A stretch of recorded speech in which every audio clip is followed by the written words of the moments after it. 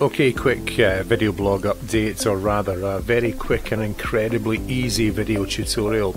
Uh, every week we get uh, customers coming in with uh, the uh, similar problem, and that is that the browser window has zoomed right in. So if you open up your browser and uh, it looks like this, and it's all zoomed in, incredibly easy to fix. Let's go through this.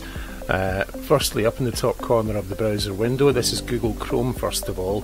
Uh, we've got three little dots. We can select there, and we'll see here that we're zoomed into 400%. So we can start to knock that down, and it will bring things back to normal.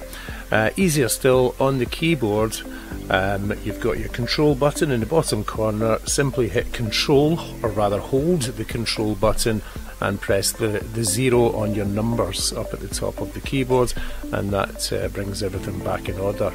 Uh, furthermore, you can zoom in if you want to, that's uh, quite straightforward as well. To zoom in, hold Control and press plus, and we'll see what's happening. Opposite, hold Control, press minus, and we see what's going on there. We can zoom right the way down, uh, and of course, Control and zero takes us back to default. Uh, closing Chrome in the Edge browser, uh, much the same. We can uh, we've got the same commands. Control and plus to zoom in, Control and minus to zoom all the way out, and control and zero takes us to 100% default. Nice and easy.